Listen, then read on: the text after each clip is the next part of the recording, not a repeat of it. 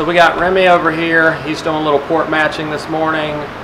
We got Jacob. He's about to put some new wheels and tires on this GT500. So let's go check that out.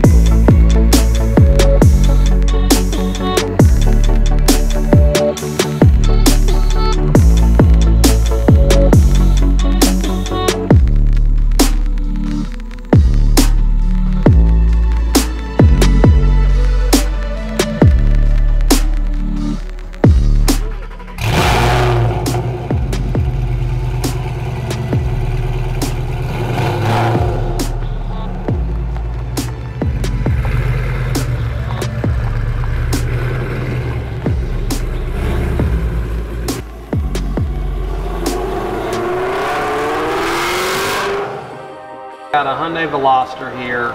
Um, not a real popular car to build and mod just yet. There's not a whole lot of stuff out there, but this guy's doing stuff that nobody else is doing. He's got a big turbo setup. Um, I think there's two cars in the world that have what he's got going on.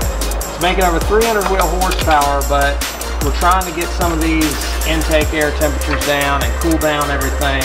So we're putting a uh, methanol injection kit hopes to do that and get them a little closer to 350. Getting ready to install the battery and the wires to power this, this method injection kit that we put on this Veloster. If you want to take, take a look at the back, I'll show you the uh, pump.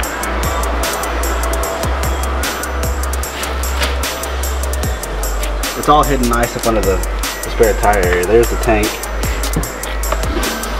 There's the, the pump and the lines. The whole point of this is to, to cool his vehicle down. It's it's making some some decent power, so it's to cool everything down and make it run a lot stronger. But yeah, all the lines and everything hidden up under the car. You can't see anything. I'm getting ready now to finish wiring everything up. I have one more line to run to the intake for the nozzle to spray the meth. And to run a few wires to the fuse box. And then after that, I think we're ready to test this thing out.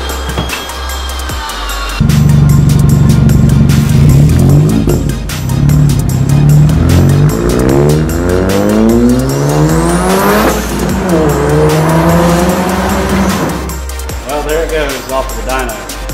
See how much power it makes. So we just got word on the Veloster. Made big numbers, 341 horsepower to the wheels and 292 foot-pounds of torque. That's huge gains for a car with such a small engine. That's a 1.6 liter engine. Normally produces 201 crank horsepower and we almost doubled that. So I'd say everything he's done, it's a win. Couldn't ask for much